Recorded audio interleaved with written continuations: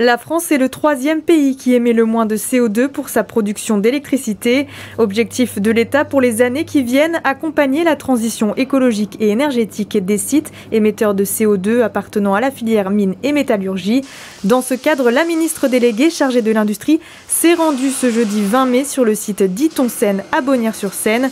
Au programme, visite et nouvelle signature du contrat stratégique de filière dans le but de réduire l'empreinte carbone. On a une feuille de route qui va d'abord être euh, technologie par technologie et processus par processus et ensuite site par site pour définir comment on va atteindre une réduction significative de notre empreinte carbone sur cette industrie. Itonsen du groupe Riva a présenté son site et le processus de fabrication. L'entreprise de sidérurgie de 250 salariés produit 400 000 tonnes de ronds à béton par an. Elle est déjà avancée sur le sujet. C'est ce qu'on fait déjà, donc il y a, c'est ce qu'on fait déjà. On, est, on recycle majorité de la ferraille française, donc euh, de toute façon, on n'envoie pas notre ferraille à l'autre bout du monde. La visite était l'occasion d'aborder d'autres sujets, notamment les difficultés à recruter dans la filière. Nous, on avait beaucoup de difficultés à recruter. Aujourd'hui, on avait des métiers vraiment qui étaient en tension, et majoritairement les métiers de la maintenance.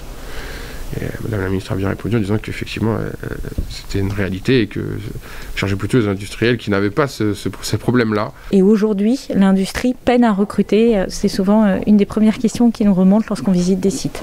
Ce travail de décarbonation dans la filière mine et métallurgie a déjà été opéré dans les filières de la chimie ou encore du ciment.